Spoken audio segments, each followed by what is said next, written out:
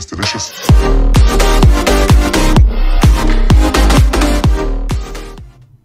Hey guys, what's up? It's your boy Orange Prince White here. Today, I am gonna be on my own. Uh, I saw Sika did a video where he showed off his new GX deck, and I thought I could do the same. Uh, now, this is just gonna be a disclaimer. This deck is pretty OP. Okay, and now I know in GX I lose a lot, and that's because it's scripted. Okay, I'm not terrible with this deck. It's actually really good. Like a couple of people have said, that is one of the best decks in GX. Uh, and I know I lose to Sika, but to be fair, uh, back then I wasn't that good of a duelist and I didn't know some card effects, but now I do know, and uh, I'll explain, you know, everything. Like for example, like this card, I didn't know the effect of this card, but apparently it's really good. Uh, and these two cards, these two cards are really good. But I'll go out over each and everything, and even if it's like old, new, because I do have some pretty new cards. Ooh, let's move those two together. I do have some pretty new cards, so let's get into it. So we got the Machina Force. I don't really use him too uh, often. I kind of use him like here and there, but that's because he's like probably the hardest card in my entire deck to probably get out because in order for him to be summoned, you need a, a soldier, a sniper, and a defender all out on the field, plus a commander in Covington. And that's kind of hard to have four monsters all at the same time out on the field without getting them destroyed or anything. But with my upgraded deck, it should be fairly easy. I just need to draw them. And uh, I'll explain to you how that is fairly easy. I pretty much, uh, let's just say if I have a Machina Force on the field, and I already equipped it with rare gold armor, and maybe a Gravity Blaster, meaning that my opponent can only attack the fort, the fortress, which is really good because the fortress's effect is pretty strong, and equipped it with the Gravity Blaster, it makes him even stronger. So now with this new upgraded deck, I should be it should be easier for me to uh, get out the force, but I'll explain uh, every here before I move into like combos and stuff. I'm going to explain each and every card first, and then I'm going to explain probably like my favorite combos to go with, and yeah, who knows? Maybe I could find someone to even duel against. Uh, the second card in my deck is Machina Mega Frame. His effect is pretty cool. Pretty much, I can special summon one monster from your hand or deck except Machina Mega Frame. Face the Machina Fortress you control sent to the graveyard, while this card is in your graveyard, you can banish the Machina Fortress from the graveyard, special summon this card. You can only use one Machina Mega Form effect per turn. So that's pretty cool. So let's just say uh, I have like a fortress in my hand, and I have uh, a fortress in the graveyard with a Mega Form. I could actually activate the Mega Form's effect, banishing the fortress in the graveyard, special summoning the Mega Form, and then uh, what's I call it, activating his effect, and then special summoning the fortress, discarding him to the graveyard. So, and then if my fortress is sent to the graveyard, I can just keep on doing that, which is uh, pretty cool. I got two of those guys, and then I also got Barrel Dragon. Now, Barrel Dragon is a new card to the deck. Uh, Barrel Dragon, uh, here I'm actually gonna move these two guys together because these guys are a combo. So Barrel Dragon and uh, Blowback Dragon. These guys are pretty cool. I haven't used their combo yet, but pretty much uh, their effect is you can target one monster your opponent controls, cost a coin, a coin three times, and destroy it if it uh, at least two of the results are heads. And then uh, this one, once per turn, you can target one. I'm pretty sure it's the exact same effect. Yeah, it is. And if you have these two in your uh, hand or uh, on the on the field. With the polymerization, you can actually fusion summon into Gatling Dragon, uh, which is pretty cool. Which is one per once per turn, you can toss a coin three times and destroy as many monsters on the field as possible, but no more than the number of heads. So if I draw three heads, that's three monsters gone. If I draw one head, one monster gone. Two heads, yeah, you guys get the point. And it's that that is once per turn. So he's pretty strong, and uh, I'll show you guys some combos, uh, which I can even make him even stronger. I've never actually been able to uh, special summon into him yet because it's kind of hard because with these two guys I can't really bring them out with the gear frame or with a yeah only with the gear frame or oh wait no or with the gear giant X.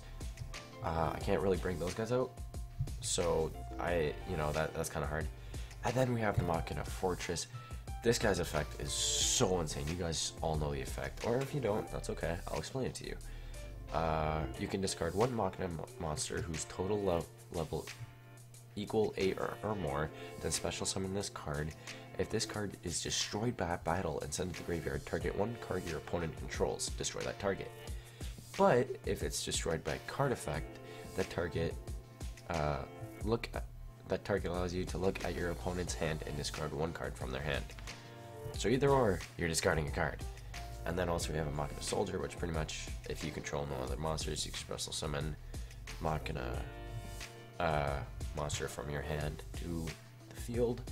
Machina Sniper, Machina, uh, Machina monsters cannot be attacked except Machina Sniper. So it's pretty much, you know, uh, I guess like a shield from everyone else. And then we have Machina Gear Frame. Machina Gear Frame, uh, pretty much when I normal summon them, I'm allowed to, uh, I'm allowed to add one Machina monster from my deck to my hand, except Machina Gear Frame.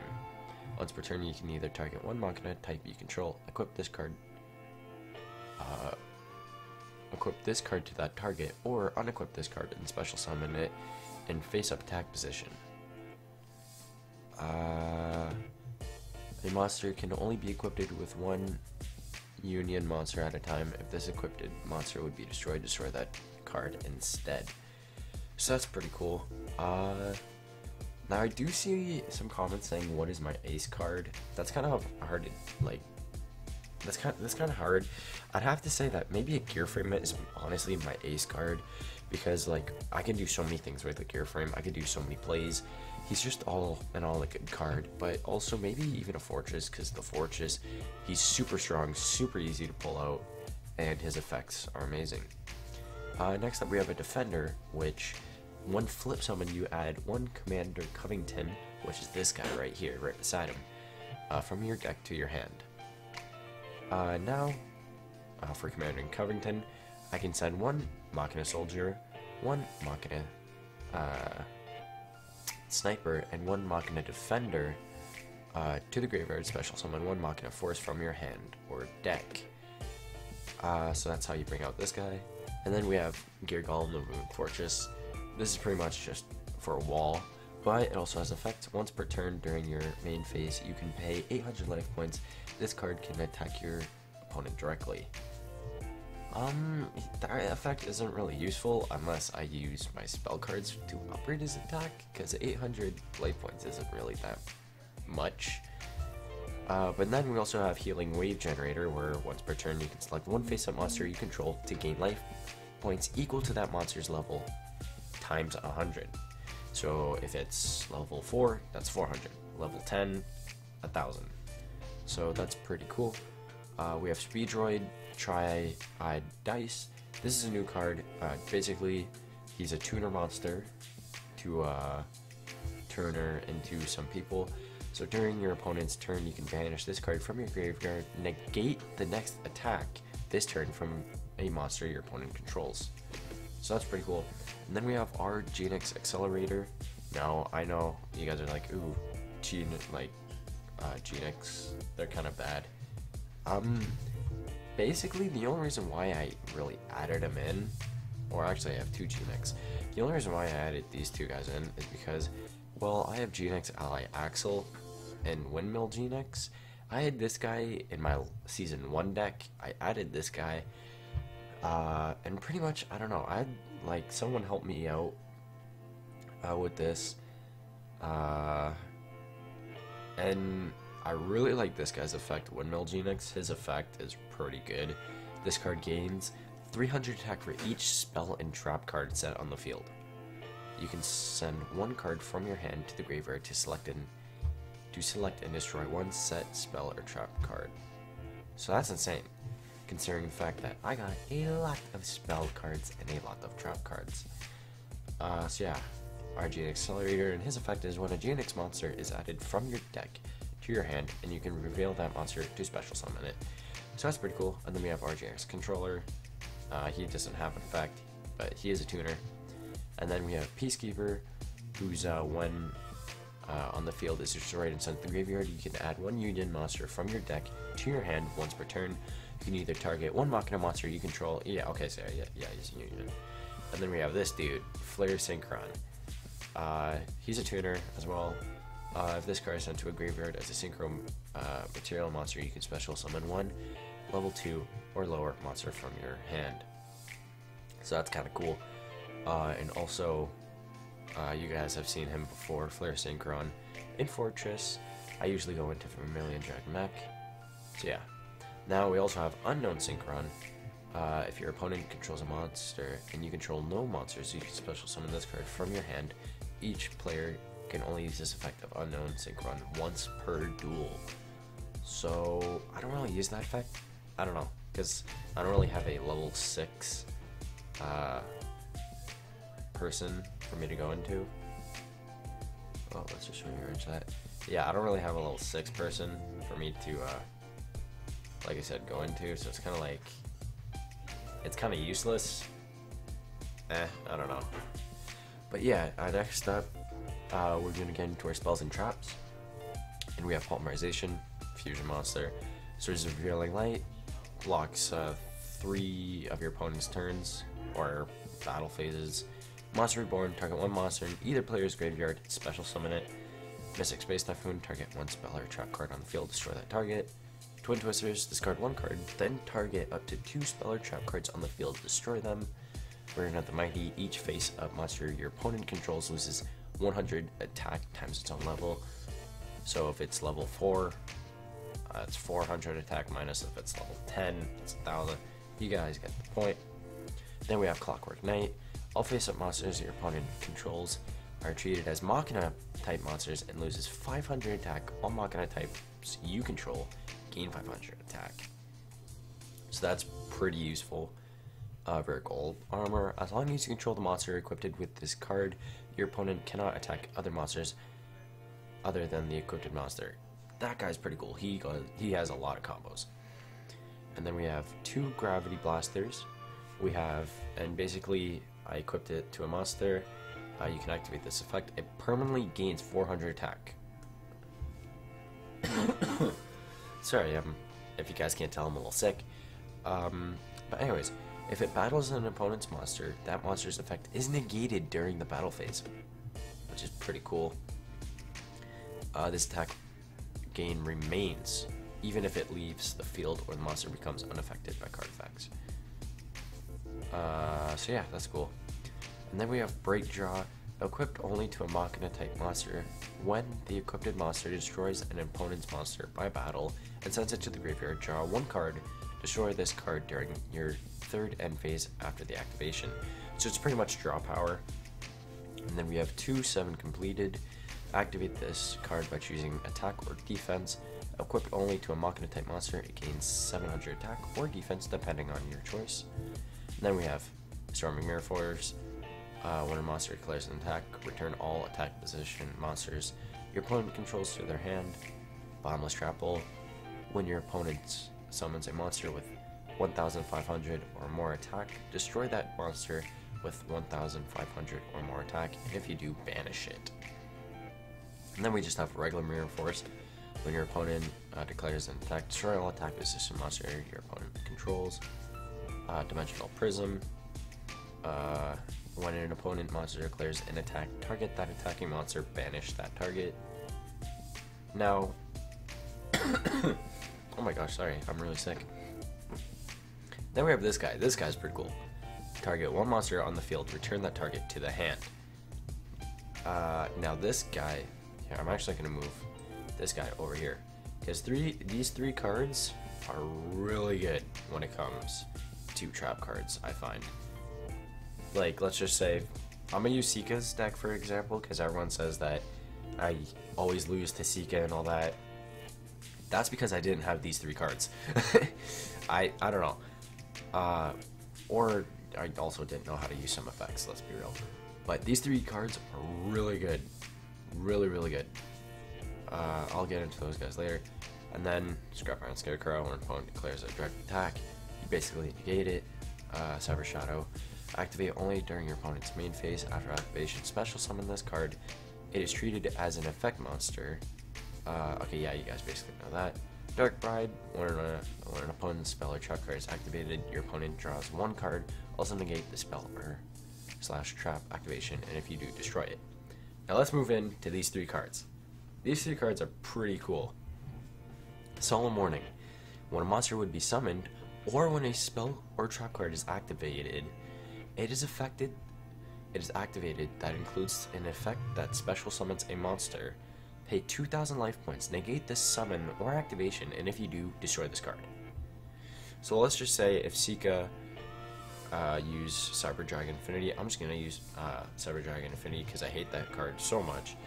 Let's just say he attacks me, I use uh, Scrap Iron Scarecrow, negates it, and if I use Solemn Warning, then uh, I could, I think I could like destroy him or something, yeah. Uh, or return it to the hand. That's basically what these three cards are for, returning stuff to the hand. And then we have Solemn Strike. When a monster would be special summoned or a monster effect is activated, pay 1,500 life points. Negate the summon or activation, and if you do, destroy that card. And then we have this guy, target one monster in the field, return that target to hand. So that's the main deck. Pretty strong. And then we have the extras. I'm just gonna skip over the ones that we kind of already know. Like, uh, I don't know. Uh, Tornado Dragon, once per turn, uh, target one spell trap card on the field, destroy it. This guy, I recently just figured out what his effect was, and it's pretty cool. Basically, once per turn, you can detach one XYZ material from this card, then target one other face-up position uh, on the field. Change it to face-down position. This effect can be activated during either player's turn, and if this card has Super Quantum Green Layer as XYZ material, uh, wait, hold on. Oh, Super Quantum Green Layer monster from X. Uh, once per turn, you target one Super Quantum monster from your hand or field to this card as an XYZ material. Now, I don't really have any Super Quantums in my deck, but let's just say something may happen in the future. That's all I'm gonna say. I'm just gonna let you guys interpret that. Okay, okay. Now we have heavy armored train Iron Wolf. This guy, I'm not like I'm basically gonna summarize these cards unless I don't know them. Basically, his effect is that I can attack directly by discarding one XYZ material. Pretty much. That that that's pretty much his effect. Gear Giant X. Once per turn, you can detach one XYZ material from this card. Add one level 4 or lower Magnet type monster from your deck or graveyard to your hand. So this is pretty good. I could. Uh, this is basically draw power. Uh, number 42, Galaxy Tomahawk. I don't really use him because his effect is kind of useless. Like, com put comments down below if you know his effect. Really, I don't know it. Like, well, I know it, but I just think it's completely useless. Like, I detach 2 XYZ material from this card, special summon as many Battle Eagle tokens as possible, and they all have 2,000 attack. Now that's pretty good, because that means that they all have 2,000 attack. You know, that's pretty good attack. Destroy them during the end phase. Also, your opponent takes no further battle damage this turn. So basically, I summon all these guys that will be destroyed in the end phase, and these guys have attack, right? So they're meant for attack, but my opponent can't take no further battle damage this turn. So then, all the tokens, since they're being destroyed this turn, are no longer there. So it's really, like, it's not really useful. I don't know. Like, I don't think there's any use but for, like, defense, because this, this guy has 3,000 defense. But I go into this guy most most often because his effect is really cool and I like it. Uh, pretty much, I summon two tokens and I can discard a token to discard any card I want on the field. This card cannot attack during the turn you activate this effect, but also it cannot be destroyed by battle or by card effects. Oh, I know. This card cannot be destroyed by battle or by card effects. Uh, if I control a token. Okay, so that's all the XYZ materials. Now we're gonna get into good, gritty stuff. Uh, basically, I got Power Tool Mech Dragon and Power Tool Dragon. Now, uh, these guys. No, wait, is it these guys? No, it's only Power Tool Dragon. Power Tool Dragon can go into Lifestream Dragon, which is pretty cool. So, Power Tool Mecha Dragon during your turn when an equipped spell card or cards is equipped to this card, you can draw one card. You can only use this effect or Power to Tool Mecha Dragon once per turn. During either player's turn, you can target one uh, appropriate face up equip card on the field, equip that card to this card. That's pretty cool. Uh, next up, we got Power Tool Dragon. His effect is also pretty cool. Uh, I can reveal three equipped spell cards from your deck, then your opponent randomly adds one of them to your hand, and you shuffle the rest back into the deck. If this card would be destroyed only equipped with an equipped spell cards, you could send one of those cards to the graveyard instead. That's pretty cool. Now we have Genex, uh, Windmill Genex. This card gains 300 attack for each spell and trap card set on the field. You can send one card from your hand to the graveyard to select and destroy uh, one set spell or trap card. Now, before I move on, Powerful Dragon, he's really cool also. I just like to say this because look how many really insane spell cards I got that do a lot of damage. I got Gravity Blaster, I got Clockwork Night, I got Burden of the Mighty, I got Break Draw, I got like all seven pleated, and all these cards do insane damage. Rare Gold Armor. They either gain uh, attack points or they're just really good. And then Life Stream Dragon. This is kind of like if I'm in panic mode. Basically, when this card is Synchro Summon, you can make your life points become 4,000. You take no effect damage. Uh, if this face-up card on the field would be destroyed, you can banish one equipped speller uh, spell card from your graveyard instead. So pretty much like let's just say if I'm about to lose a duel and I have like 500 life points, I can normal summon this guy and make my life points become 4,000. So he's pretty cool. Uh, and then I have Genex Ally Axel. Once per turn, you can discard one card to select one level, uh, one or four. Wait, or yeah, I can't read. To select one level 4 or lower Machina type monster from your graveyard and special summon it. The attack of the monster is doubled until the end phase, but it cannot attack your opponent directly. Remove that monster from play during your end phase. So that's pretty cool. Uh, and then Cloud Castle. Uh, this card's kinda useful. Kinda. Like, I don't really go into him right away. He's more defense. When this card is Synchro Summon, you can target one level 9 uh, in your graveyard, special summon that target. Level 8 or lower monsters cannot attack this turn. They are cannot attack the turn they are normal or special summon. So, let's just say if I got Vermilion Dragon Mech in the graveyard, I could Synchro Summon into this guy and bring back my Vermilion Dragon Mech. And Vermilion Dragon Mech's hand, once per turn you can banish one tuner from your hand, field, or graveyard, then target one card on the field, destroy it. This Synchro Summon card is destroyed by card effect or sent and sent to the graveyard, you can target one of the banished tuners, add it to your hand. Uh, and I think we already went over Gatling Dragon.